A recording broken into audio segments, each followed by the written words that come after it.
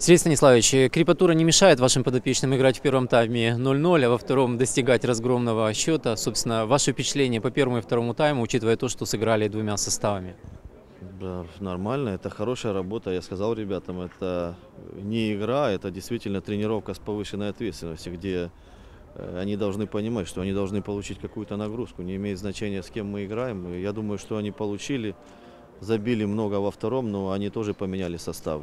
Еще раз, это хороший спарринг и хорошая тренировка.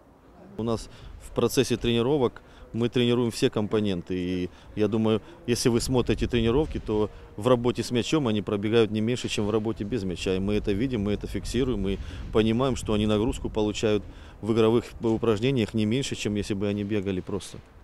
Главное, недовольны или недовольны. Главное, чтобы они работали действительно плодотворно и понимали, что только через работу нужно хорошо подготовиться к чемпионату. А насчет вратарей и тренировок с мячом, наверное, все лучшие команды мира сейчас пытаются контролировать мяч и играют с мячом. Мы тоже к этому идем, и я уверен, за этим будущим. Мы не можем просто так мяч бить вперед и искать подбор, искать второй мяч. Я думаю, что сегодня этот сбор направлен в первую очередь на поднятие функциональных составляющей. И, конечно, работать с мячом ребятам, чтобы они понимали, что футбол все-таки игра с мячом. Это не, это не, не беготня без мяча.